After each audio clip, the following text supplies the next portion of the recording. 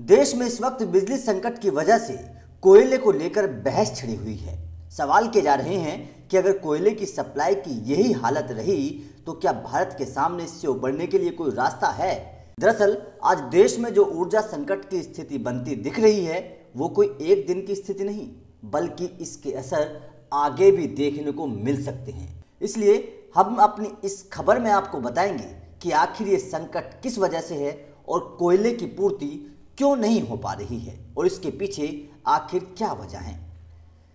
आखिर क्यों है संकट? ये बात सभी को पता है कि थर्मल पावर प्लांट्स को कोयले की पर्याप्त आपूर्ति नहीं होने की वजह से देश में बिजली संकट पैदा होता दिख रहा है। दूसरी तरफ़, कोरोना काल में बंद पड़े उद्योगों में फिर से पूरी क्षमता के साथ काम शुरू हो गया है। इसीलिए बिजली की मांग में भारी वृद्धि हो गई है। ऐसे में मांग और सप्लाई के बीच का यह अंतर बिजली संकट पैदा कर रहा है। ये सबसे बड़ी वजह है और ये लोगों को समझना भी चाहिए। क्यों नहीं हो रही कोयले की आपूर्ति?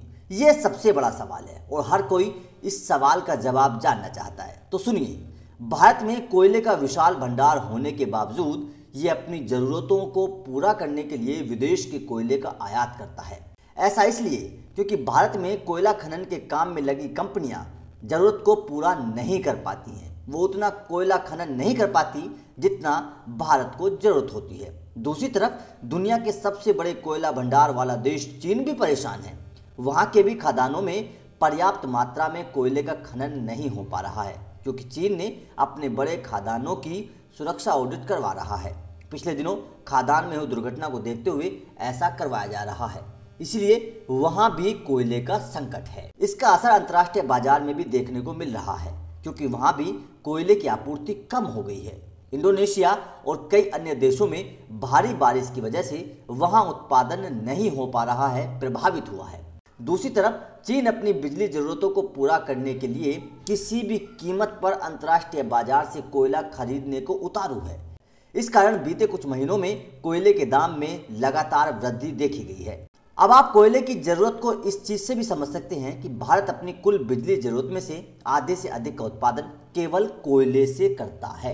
भारत सरकार के बिजली मंत्रालय की रिपोर्ट के मुताबिक देश में कोयले से बावन दशमलव छह फ़ीसदी बिजली का उत्पादन किया जाता है। तो आप समझ सकते हैं कि बिजली उत्पादन के क्षेत्र में भारत कोयले पर कितना निर्भर है। अब कोयले का विकल्प क्या हो सकता है? ये भी एक बड़ा सवाल है। तो समझिए देश की आर्थिक विकास की दर और तेज़ी से बढ़ती ऊर्जा जरूरतों को पूरा करने के लिए भारत के पास अब भी कोयले का कोई पुख्ता विकल्प नहीं है। मतलब अभी भी बिजली कोयले से ही बनेगी।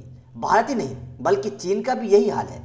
चीन में भी ऊर्जा की मांग बेहद तेज़ी से बढ़ रही है और वो भी अपनी आधी ऊर्जा जरूरतों को पूरा करने के लिए पूरी तरह से कोयले पर निर्भर है। इसके पीछे की सबसे बड़ी वजह यह है कि कोयले के अलावा ऊर्जा उत्पादन के तमाम अन्य स्रोत काफ़ी महँगे हैं। जैसे डीजल, पेट्रोल, बाकी चीज़ें।